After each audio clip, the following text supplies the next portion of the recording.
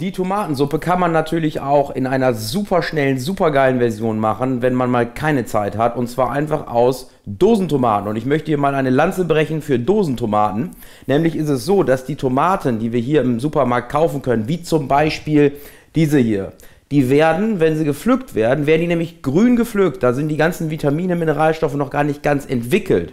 Das Tolle ist an Dosentomaten, nämlich die Dosentomaten werden nämlich komplett reif gepflückt. Das heißt, die werden reif gepflückt, werden dann komplett konserviert eingelegt, Vitamine bleiben bestehen ne? und dann haben wir super geiles, ähm, gesundes. Also eigentlich sind Dosentomaten, ich ziehe Dosentomaten immer den Tomaten vor, weil die wesentlich gesünder sind.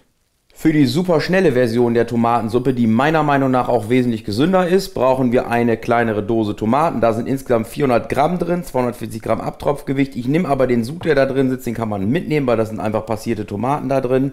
Dann brauchen wir Tomatenmark, eine Zehe Knoblauch, eine Zwiebel, 200 Milliliter Wasser und ein paar Gemürze wie Majoran, Oregano hier hinten, Pfeffer, Thymian, Gemüsebrühe und ein bisschen Vanillezucker.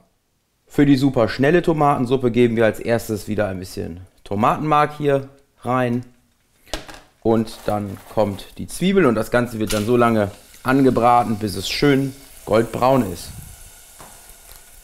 Wenn die Zwiebeln goldbraun sind, dann kommt die Dose Tomaten dazu. Die Zehe Knoblauch. Noch etwa so, so fast ein Esslöffel Tomatenmark. Und etwas Wasser, nämlich die 200 Milliliter in diesem Falle. Und das Ganze wird jetzt ungefähr 10 bis 15 Minuten gekocht. Wir sind nach der Kochzeit beim Würzen angelangt und zwar als erstes kommt hier ein Kaffeelöffel von dieser Gemüsebrühe rein.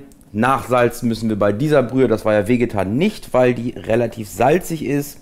Dann kommt ein halber Kaffeelöffel Oregano rein. Dann noch ein halber Kaffeelöffel Majoran. Und dann noch ein halber Kaffeelöffel Thymian. Und ein bisschen Pfeffer. Ich zeige das mal so von der Menge. Das ist so ein Viertel vom Kaffeelöffel ungefähr. So, und dann müssen wir eventuell nachsalzen. Und das Einzige, was wir jetzt noch machen müssen, ist das Ganze zu pürieren. So, und fertig ist die superschnelle, supergeile Tomatensuppe.